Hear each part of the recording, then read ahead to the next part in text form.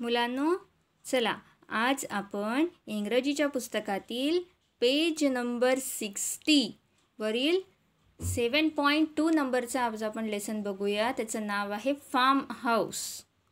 Form म्हणजे शेत आणि हाऊस म्हणजे घर. शेतामधलं घर. चला बघूया आपण आज. आपल्याला काय विचारलं आहे बघा? Look and find the things from the picture. बघा आणि चित्रामधील तुम्हाला काही वस्तू आहेत त्या शोधायच्या आहेत. थिंग्स आहेत. थिंग्स म्हणजे वस्तू. ठीक आहे? त्या तुम्ही शोधायच्या आहेत. ठीक आहे? चला बघा अं आता एक पहिले बघा तुम्हाला छान मोठं शेत दिसतं आहे. हो ना? चित्रावरनं तुम्ही ओळखू शकता की नाही? बघा चित्र जिथं चित्र आहेत ना त्याच्यावर त्याचे स्पेलिंगसहित शब्दसुद्धा दिलेले आहेत की कशाला काय म्हणतात? आपल्याला ते वाचायचे आहेत. चला बघा सगळ्यात आधी तर बघा इथे काय दिसतोय तुम्हाला? सन. सन म्हणजे सूर्य. एस यू एन सन म्हणजे सूर्य. त्याच्यानंतर दिसतं आहे birds. B I R D S birds म्हणजे पक्षी. स्काय. स्काय म्हणजे हे ब्ल्यू कलरचं पूर्ण निळ्या रंगाचं आकाश. त्यानंतर cloud C L O U D cloud म्हणजे ढग. त्याच्यानंतर इथे बघा खाली house H O U S E house म्हणजे घर. हो ना? त्याच्यानंतर घराच्या समोर काय उभी आहे? गाडी J double E P jeep. Jeep उभी आहे. त्याच्यानंतर बघा इकडे बाजूला farm F A R M farm म्हणजे शेत. बघा त्याच्यानंतर ट्रॅक्टर पण दिसतंय. ही बाई ट्रॅक्टर चालवती आहे T R A C T O R tractor. त्याच्यानंतर अजून काय दिसतंय बघा? सी ओ डब्ल्यू काऊ म्हणजे गाय. झाडं पण दिसत आहे T R double E tree म्हणजे झाडं. हो ना? त्यानंतर W E double L well well म्हणजे विहीर. बघा ही बाई विहिरीचं पाणी भरती आहे दिसतंय ना? त्याच्यानंतर इथं बघा P O N D pond. Pond म्हणजे डबकं छोटंसं पाण्याचं डबकं दिसतंय इथे. हो ना छोटंसं तळं दिसतंय. डबकं म्हणतात त्याला जिथं पाणी साचून राहतं ना तिथं डबत्याला पॉन्ड म्हणतात. ठीक आहे त्याच्यानंतर बघा त्याच्या आजूबाजूला छान फुलं पण आलेली आहेत. F L O W E R S flowers म्हणजे फुलं.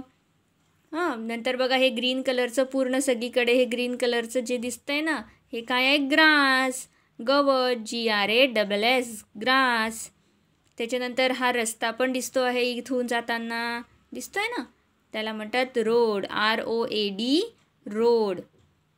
त्यानंतर bicycle B I C Y C L E bicycle तुम्हाला सगळ्यांना माहितीच आहे. आवडती की नाही तुम्हाला सायकल चालवायला? त्याला म्हणतात बायसिकल त्यानंतर जी ओ ए टी गोट गोट म्हणजे बकरी.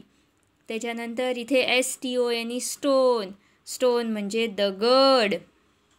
D O G dog dog म्हणजे कुत्रा. हो ना? आता बघा इथे. इथं काय दिसतंय? छान अशी नदी दिसती आहे. बघा पाणी आहे हे सगळं. त्या पाण्यामध्ये काय आहे? B O A T boat आहे.